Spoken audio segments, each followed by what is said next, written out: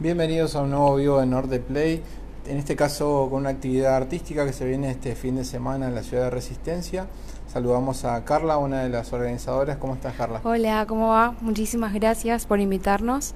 Todo perfecto acá, por explicarnos un poco el evento que estamos armando con muchísimos artistas en el Parque de la Democracia este sábado.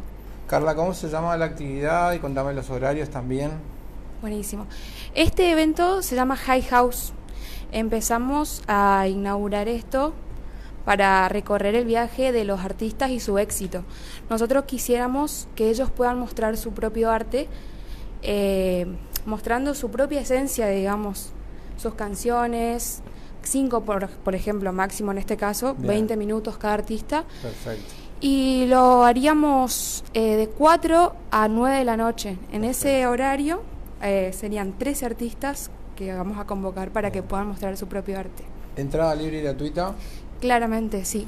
Podés ir, hay un montón de cositas para ver y también consumir. Perfecto. Vamos a saludarlo a Iván también, que es otro de los organizadores. ¿Cómo estás, Iván? Hola, muy buenas tardes. Muchas gracias por, por la oportunidad y por invitarnos. Por favor, un placer. Queríamos saber un poquito más, Iván, de las bandas que van a venir, contarnos un poco de dónde son los artistas invitados. Perfecto. Tenemos, en este caso estamos recorriendo lo que es el Nordeste y bueno, armamos un colectivo de artistas que la verdad para volarse la peluca porque por ejemplo tenemos a Pistacho de Formosa que está ya en todas las plataformas musicales, pero a su vez, de épico el, el, evento que se viene en sí. Gale de Corriente también y Chizo, una chica, son en lo que es la cultura, por ejemplo, del rap en underground, lo vamos a decir de una manera, en las calles, las plazas, estos chicos ya pisan fuerte, ¿no? Pero la idea sería que no solamente quede en la cultura de la plaza y no, sino queremos que expandir, un poquito más, que trascienda exactamente porque hay demasiado talento. Y después tenemos chicos de acá de Colonia Benítez, Margarita Belén, Resistencias, Barranquera. No, estamos Contanos un poquito para primera edición que van a hacer, ¿no? Es la primera edición. Bien. ¿Qué géneros va a haber para la gente que eh, por ahí ese día quiere pegarse una vuelta, más o menos? ¿Qué tipo de géneros se van a escuchar? Tenemos eh, artistas que hacen rap, tenemos artistas que hacen trap y reggaetón. Buenísimo. Todos estos chicos eh, son sus propios temas, no hay covers. Acá los chicos lanzan su música. Así que un espacio único para mostrar lo que hacen también, que a veces es tan difícil, ¿no? La mayoría arrancan por covers y demás, así que claro, claro. a mostrar lo que hacen. Em, bueno, y para contarles un poquito, eh, sería nosotros convocamos a artistas, hay una página de Instagram que se llama High House Resistencia, donde se pueden comunicar si tienen su propia música la gente. Hay artistas que no conocemos y los queremos conocer, eso es, y queremos que se conozca, esa es la idea principal de este evento. Bueno, bueno, primero que nada, buenas tardes. Y una cuestión, ¿viste? En, en, estas músicas emergentes, como lo llaman ustedes, primero, ¿qué expectativas tienen a hacer la primera edición?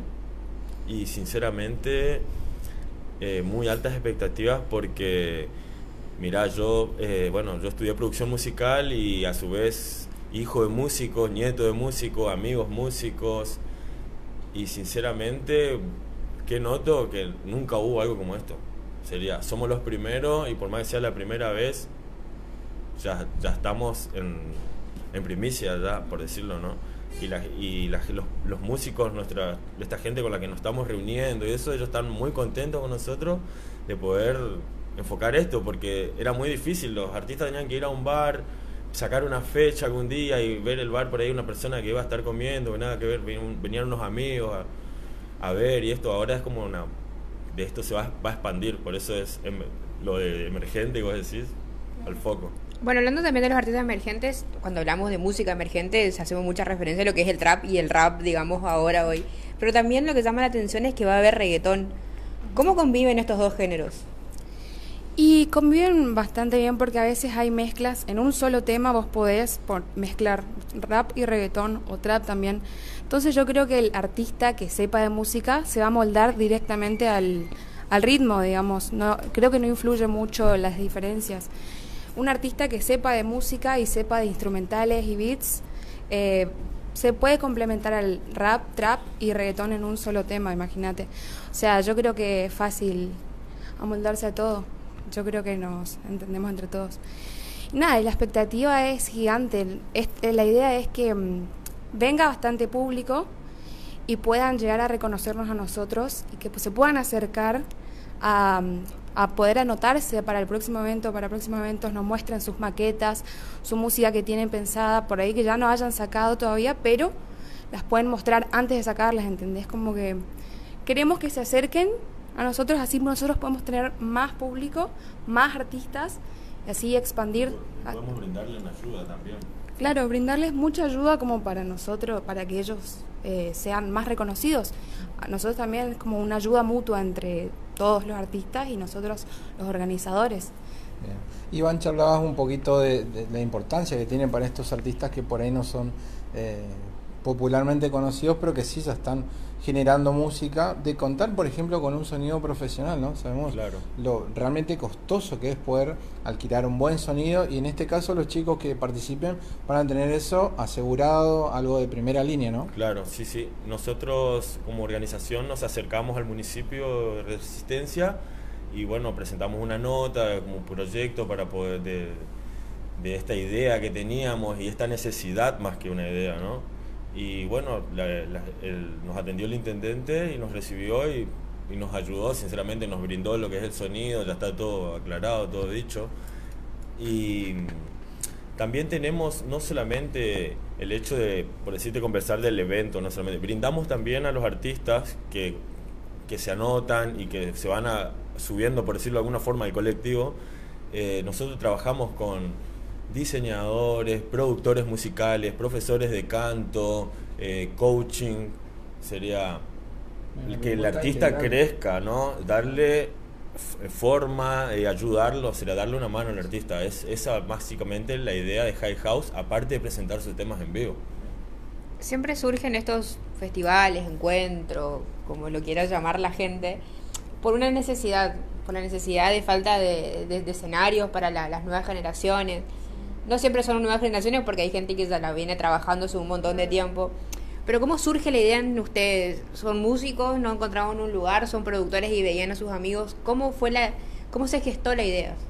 En mi caso, bueno, eh, como te digo, soy músico también, de familia de músicos, y me embarqué en algún tiempo, por decirte, en un género diferente, después en otro, y tratando y probando, y veía lo difícil, y por ejemplo veía cómo los chicos, amigos míos que son músicos acá de la ciudad, la, la forma en que más fácil pudieron encontrar una beta en la música fue reuniéndose entre todos y bueno, aquel chico tiene la computadora, el otro tiene la guitarra y aquel y siempre era como entre la gente así, tenías que tener un grupo de gente, si no era muy difícil.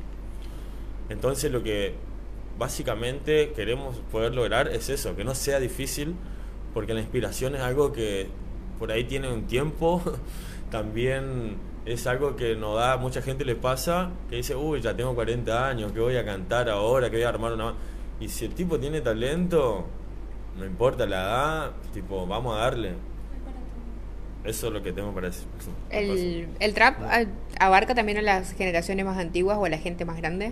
Sí, yo creo que sí. Sí, sí, el tema por ahí, que yo resurge por ahí en, las en la en lo que yo noto, por ejemplo, con mi familia, la gente que te dice que no me gusta el reggaetón, no me gusta el trap, y esto es una, un tema del lenguaje musical que se, por ahí se utiliza en los sellos discográficos y cosas que se aprueba, que hablan de cosas por ahí muy sexuales, de esto, todo el tema del machismo, todo este tema se está viviendo hoy en día, que bueno, se entiende, no es un poco complicado.